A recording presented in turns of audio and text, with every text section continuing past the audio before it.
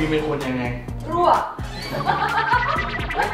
แล้วพี่พี่หยิบเป็นคนรั่วไหมคะไม่นะอ่เป็นคนตลก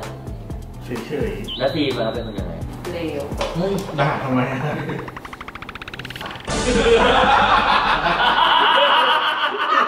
รู้ว่ามันจะมีอีกคำนึงแล้วรู้แล้ว